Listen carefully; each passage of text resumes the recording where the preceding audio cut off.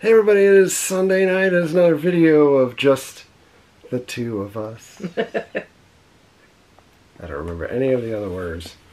We can Um, make it if we try. That's right. That's right. That's right. It's a talkie video. Um, I went to Hollywood Studios yesterday, so surprise, surprise. Um, instead of uh, you know the last few videos since we did the last talkie video, we did um, some haunted stuff and some Savannah stuff, and I think um, it, for the most part, you guys, or at least a lot of the core audience, wasn't necessarily overwhelmingly in love with Savannah stuff. But that's fine. That's kind of, you know, when we asked, like, what do you guys want to see? And so you guys responded. Um, but for the most part, um, we, had, we had some fun Yeah. in Savannah.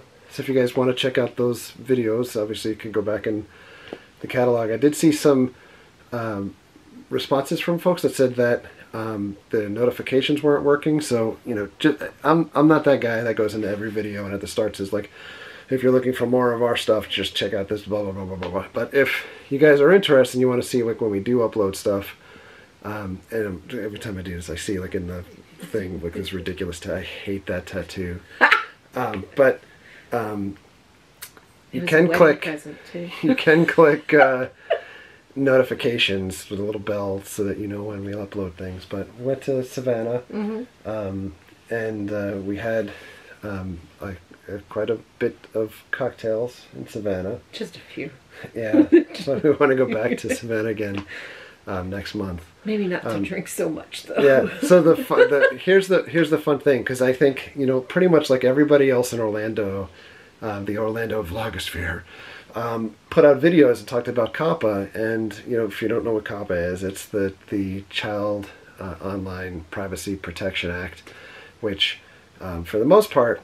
Um, with regard to YouTube videos, if you guys are doing general content or content in general uh, that's geared towards kids, you need to identify that material like it's for kids uh, because you can't have targeted ads for kids. So what Google, parent company of YouTube, is basically uh, asked everybody to self-designate videos that are uh, geared towards kids so that they don't put um, ads, targeted ads on those uh, videos because they want to have um, things designated um, appropriately because you end up getting like fined $42,000 per video for on the creator side um, if you don't designate things the right way. So, long story short, with all of the the pieces with them um, wanting um, to have things not family friendly so that they could put targeted ads on things, we do the videos in um, Savannah, and the majority of them either like um, haunted stuff, like we did the Sorrel Weed House back in Thanksgiving time period, but we uploaded that recently. And then we go out and we pretty much get um, wrecked We're walking around the streets of Savannah. Oh, my goodness. And all of those videos continue to have um, ads on it, but now the last video that we did, or that we uploaded uh, at the time that we're shooting this at least, in Savannah is when we went to the Bonaventure Cemetery, uh, which is home of um, Gracie Watson, the spirit of Gracie Watson, and the remains of Gracie Watson, as well as um, Corinne Lawton, two well-known um, hauntings in Savannah area and everything. But the ironic thing about things is YouTube demonetized that video because uh, it wasn't ad friendly. So you you know you, you're gearing things towards kids, not ad friendly. Go to the Bonaventure Cemetery, do the spooky stuff, um, but not overtly no blood, no gore, no nothing No. like that. Not ad friendly. Walking along the streets of Savannah while you're completely shit faced, that's ad friendly. Oh, yeah. So let that be a lesson to anybody that's starting out on YouTube. Don't steal my shtick. so, in any event, we did get some viewer mail, and I'm not going to show um, um, people's names here. This is from uh, Felipe. Felipe is a longtime uh, friend of the channel and friend in real life. Yeah, in general. Um, his cards are very well sealed, and I'm going to open this ever so carefully. Carefully, so this came after we did our belated Christmas card video, and his cards are well known for one thing, and that's the fact that it's the gift that keeps on giving. giving for, for the for entire months year. months and months. So, um, I'm being very careful here, Felipe. Oh, that is so cool. Chewbacca. And it's The card is gorgeous. Yeah. I'm, I'm, I'm hip to your ways here, though. So we're not fully opening this and having things go everywhere. So Uh. It well, it's impossible. Yeah. Well, there. Uh, it yeah. already went. it already went. So for you guys to see, I don't know how well you can yeah. see. Yeah, you know. and See. There's literally glitter, confetti confetti. everywhere. Everywhere. And although I was being careful, it's all over the floor already. So I'm not going to read your letter out loud. Um, but the card itself, Dear Kyle, Mary, and Jess, Happy New Year. May the force be with you. Hope you had wonderful holidays and a great end of the year. All the best for 2020 with the vlog and everything you got going on. Hopefully, I'll see you around soon. Cheers, Felipe. And um, Felipe I don't necessarily call out like all of our friends in videos, but he is one of the most um, salt of the earth people, nicest, yeah. genuine person that you'd ever meet. I'm gonna read your letter in a little bit off ca- off camera, dude. Sorry. For real, This is the best. like though. the oh, the come the on. little the little glitter is the craziest. So there there's like microscopic pieces of glitter as well as like variable size star. It's all over my hands. He must. He must do this like look at this. way early. It's like it's everywhere, even when you try not to have it everywhere. So well, Merry Christmas. happy New Year. I love you, Felipe. You make it very hard to love you. I'll remember you the entire year while I sit on our Our glitter. guest couch here. Oh my god. it's it's a lost cause. Yeah. Thank you. It's good to memory. And so we did get another Yeah. envelope from Michael in Minnesota. I'm not going to show you um, his address here, but it's fragile. so it must be it must be good. And um, by the way, even though you marked it clearly fragile, um, it still came with Yeah. this giant rip in it. So They wanted to see what it was. Oh no! Oh, no! yeah. I just did this to myself. I, I'm pretty sure the envelope has asbestos. So, Oh, do you have a knife or a scissor? um, I do have a scissor right there. and for the change of scenery, we usually always have like the we did this like mail and stuff on our couch in the living room that has this ridiculously huge picture of The beach. the beach and a crashing wave and stuff like that because I needed to be reminded all the time of like peaceful stuff and the reason why love the beach. But um this is our guest room, which we've shown on video before with some of our collectibles. We've called it the Paul IOM Geek Room. I call it the second den. Uh, yeah, yeah. Because we already have one den. we double envelope this. So I oh Wow, it's wrapped very well. before I go into any of it, the stuff that's in here. Um. Whoa. We've got uh, a, a letter. Oh getting old. Got a letter from Michael. Thought you could you thought you thought you could add these to your awesome memorabilia collection. I've been a subscriber for a few years and I love your channel. Take care, Michael. So I'm about to like either cry or have some other bodily functions, but this is some What? unbelievable things based off You of what was written. kidding me. So, oh my god. Oh my god. Wow. So, oh my god.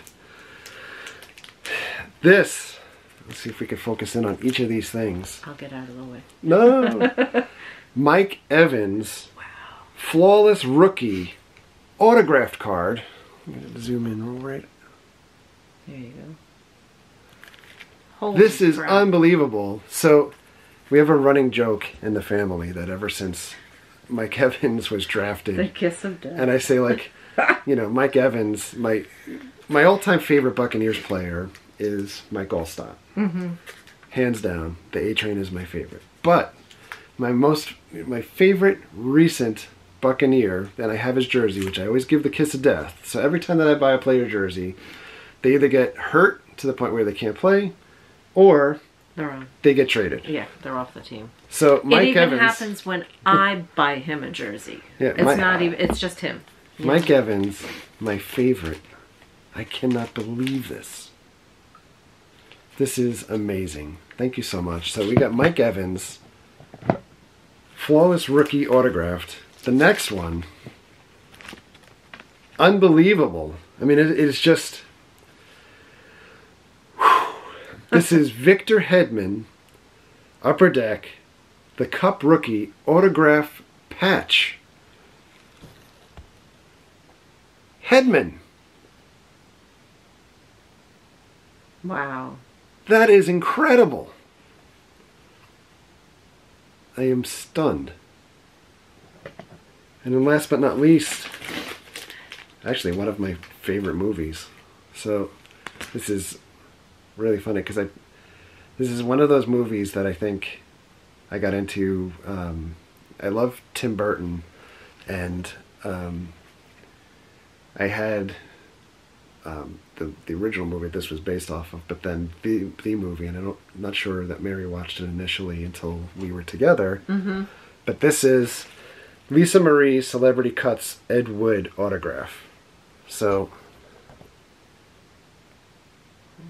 without the light on it. So cool. I am blown away.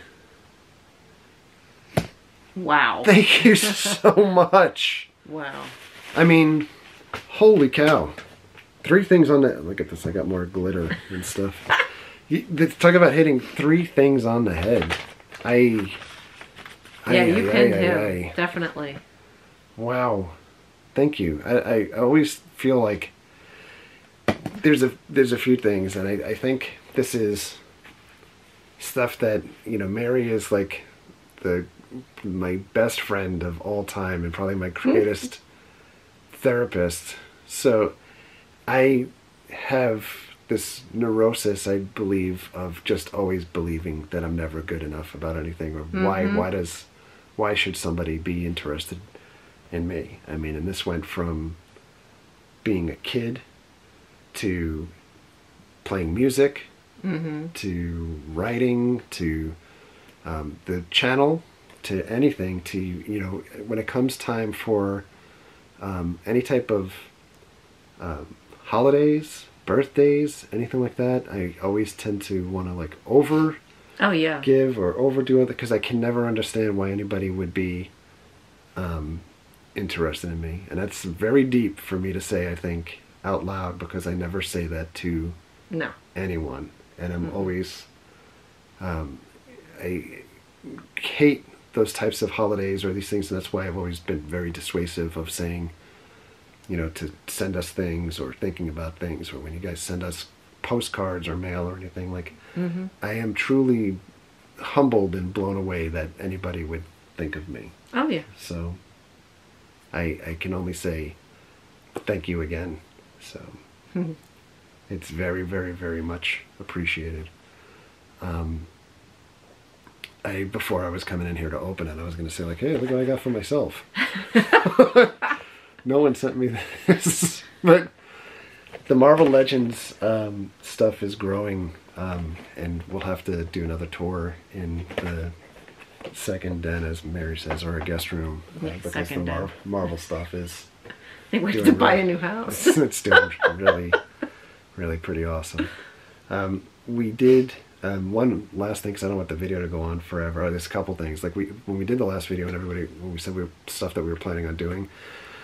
We are definitely going to the Rolex 24. So if you guys are going to Rolex 24, we'll be there um, Saturday afternoon to hang out for a little bit. And I already know that we'll be hanging out with some folks um, like um, Adam formerly of the uh, Palm Beach happenings, and Mm-hmm.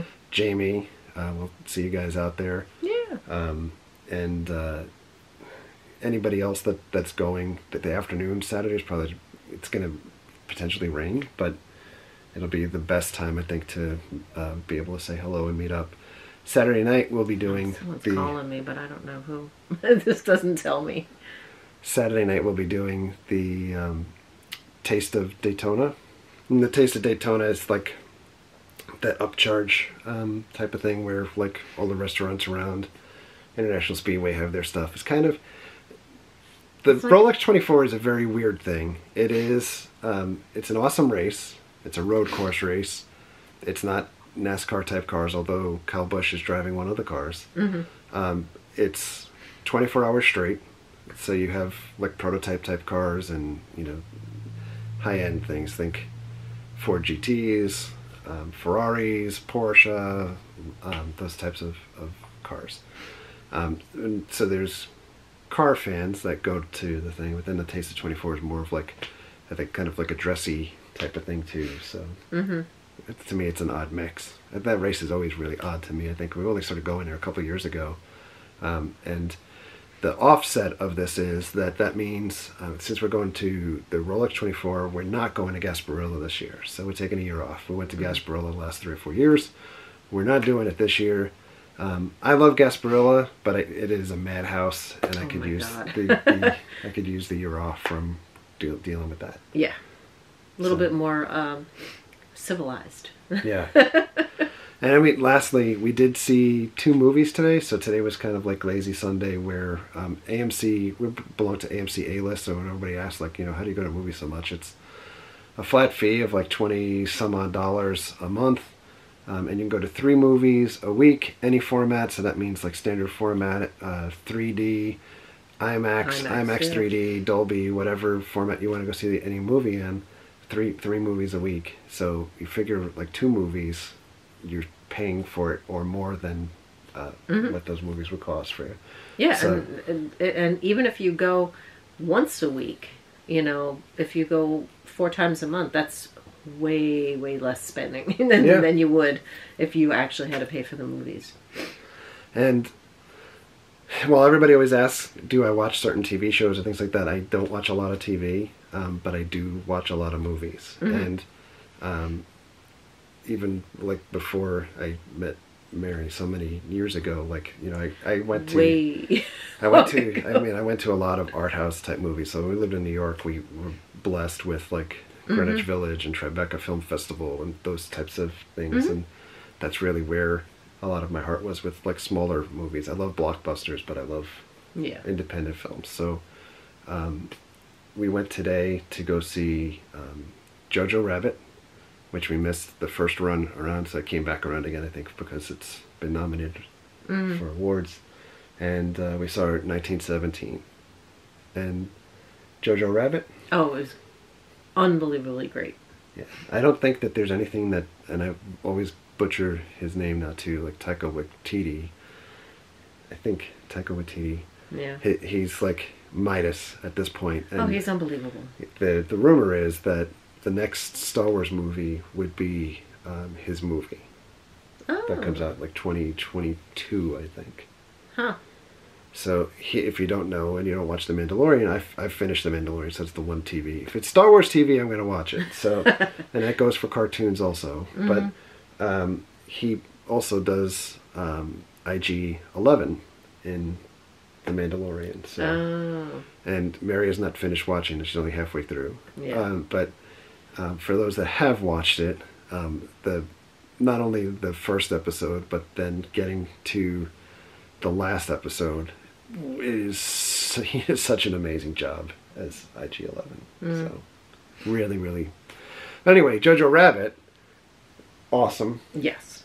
I was really put off at first. I think seeing the trailers and thinking, you know, like how do you make a movie about Nazis? that- yeah, that and would be, Hitler and uh, worthwhile to see, and you know, it's it, the movie works. Yeah. For what for what it's worth, it's um, and the also weird thing is that it's by uh, Fox Searchlight, which is uh, you know Disney. Mm-hmm. So I know there was a struggle with the debate of putting it out, you know, after Disney bought Fox, but thankfully they did put it out. It's it's it's It's well done. yeah, it's definitely it well really worth is well done. You know. So, yeah, it doesn't. While it, it seemingly would glamorize um, Nazi culture in World War II era, towards the end of World War II, um, it does so in a propaganda-ish way um, to then tell the story and bring things back around. and it has a bit of comedy. It's very know. funny in a lot of places. It's Yeah. very heartwarming. So it's, It's- very weird to say that it's a heartwarming Nazi movie. Yes. Oh my God. Yes. Very, very, very weird. In that, you know, point. Yeah. So the second movie we saw was um, 1917, which is the feel good movie of the year. Mm-hmm. No. it's. mm-hmm. You know, As I, and you like that movie too? I did. I did like the movie. Um, it felt like it was long, but it was. I don't want to give anything away, but Because they don't know the outcome of World War One. No, the, the actual situation. Oh yeah, sure. know. Um, yeah, it was it was heartwarming, but sad and crazy and just all- all emotions through the whole thing. It. I think the movie, to me, I'm gonna, I'm gonna be honest here. Like the, the the I think it's an excellent film. I think it's a very boring film at a lot of times, but it it, had me looking at my watch often. But it was, and that's not to say that it's a bad movie. I don't want to. Conf- it's tough to con- not confuse the two, right? But cinematically, it's amazing the way that it's shot. Oh my and god! For the and the better part, scenery and and all of just where it like it physically, you know, it's like how the hell do you do this?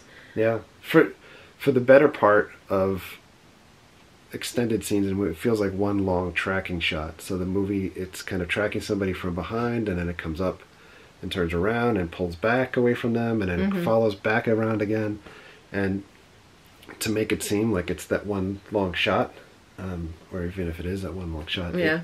it's a, it's done uh, unbelievably. Yeah, Uh, but my takeaway from it also was like because the way they shot the movie like that, and it's all just one long kind of action scene for a while. It kind of really felt like I was just playing Battlefield, you know, or like a. it's a first person. video game. It actually feels like a first person like video game that you're following along behind. Yeah. So. You know, it does. Yeah. Well, that wouldn't be first person if you're following behind, But. You know what I mean. You're, you're right.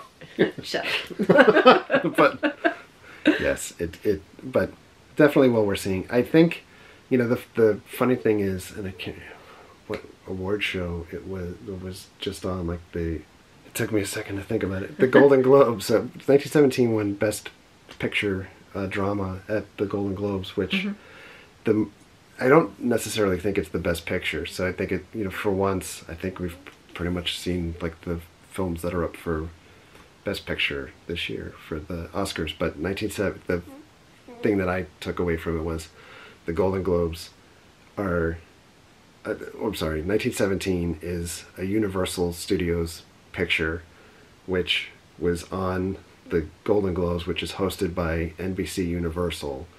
So it was interesting that it won Best Picture. That's funny. So I'm not sure how it will fare um, overall, but anyway, we're rambling, and this was supposed to be a short video, uh, but we're heading back into the week. Tomorrow is Martin Luther King Day um, in America, so it's a holiday. Um, although Not for me. not many people, I think, outside of government uh, jobs end up getting the day off, so uh, pretty much like back to work. Um, but in any event, maybe it could be explained why. Like we went to Hollywood Studios and uh, it was packed um, yesterday. but we want to get over to Epcot as well, um, and uh, Oh, the Festival of the Arts. the yeah. Festival of the Farts. so, so, and we still didn't get to Universal for the the the hash either. Oh, the Who like- Hash? Yeah. No. But anyway, all things to do. Thank you so much for watching.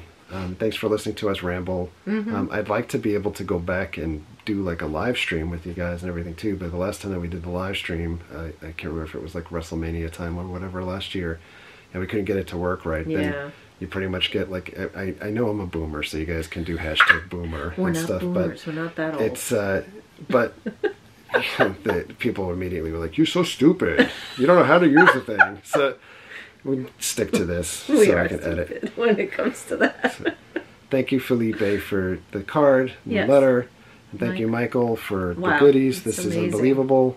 Um, and yes, we will find homes for all of these goodies, and we'll take you a tour around the rest of the stuff that we have um, going on here too at some point again. So, Mhm. in any event, thank you, thank you for watching. Thank you for all of your likes, comments, and subscriptions. Treat others the way you want to be treated. Have a great night. We'll see you guys. Bye.